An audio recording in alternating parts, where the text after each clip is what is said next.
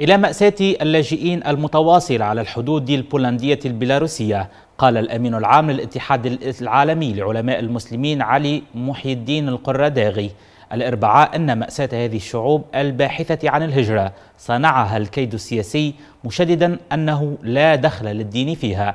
جاء ذلك في, في تغريدة للقرداغي نشرها عبر حسابه على تويتر تعليقا على معاناة اللاجئين العالقين على الحدود بين بولندا وبيلاروسيا مرفقة بصورة لثلاثة قبور تعود للاجئين لقوا حتفهم على الحدود بين بولندا وبيلاروسيا وهم من الجنسيات السورية والعراقية واليمنية.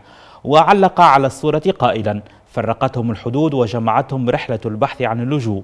صورة تختزل معاناة اللجوء. هذه أكبر الحواضر والعواصم التاريخية المسلمة في إشارة إلى سوريا والعراق واليمن التي يفر أصحابها منها ويموتون في المهاجر والمنافي.